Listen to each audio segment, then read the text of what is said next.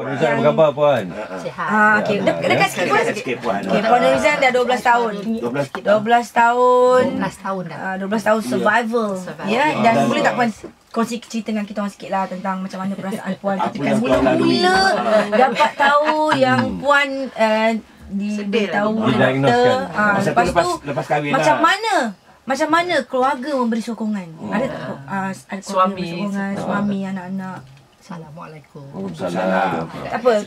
Mula-mula saya kena saya sekarang dah 12 tahun survivor. Okey. Nah, mula-mula kena tu saya dengan suami saya lah. Bila doktor beritahu yang saya ada kanser, saya tak tercakap lah. Oh, Yelah mungkin kita tak boleh terima lah kan kenyataan tu Saya kan. rasa jantung tu jatuh. Jatuh. Allah. Uh, doktor cakap tahap satu, dua atau tiga? Ah, belum lagi masa Belum tu. ada. Baru tanda-tanda.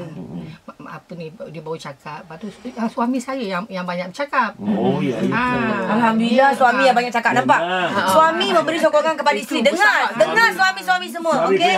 Diam you. Okey lagi.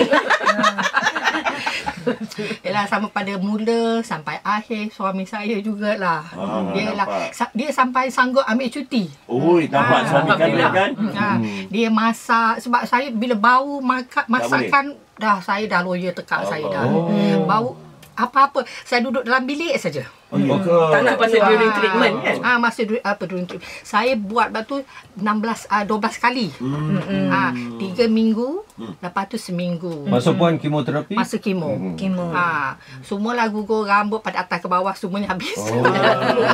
Oh lah kan. gugur habis lah. Anak-anak macam mana ketika tu? Anak masa tu kecil lagi. Mm-hmm. Tapi Berapa yang tahun masa tu? Mas, yang bongsu masa tu baru uh, darjah lima. Oh. Ha, yang besar-besar tu Dah besar tengok lah. pada wajah muka pun. Dia orang apa sedih eh? Sedih lah. Yalah, Ha, yalah. tak nak mendesak ke lagi. Kadang-kadang anak saya yang bongsu bila bila saya tengah muntah-muntah ada tahu, ah mami dah muntah dah. Alah. Ah, dia bising lah satu rumah tu. Ya.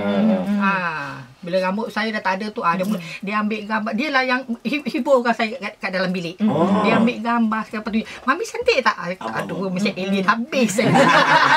Tapi uh, doktor ada bagi tahu lah bahawa keguguran tu hanya seketika Tu saja. seketika saja. Lepas tu dia akan tumbuh tu balik. tumbuh balik. Tapi Ah, rasa kan? terperanjat juga lah. Terperanjat lah bila ma- masa mandi tu. Kita kan boleh shampoo tu, boleh pegang rambut kita dia apa dia keluar genggam. Ha, rambut tu. Masa tu lah dalam bilik air tu ya Allah. Kan? Ha, Ya, nangis lah seorang.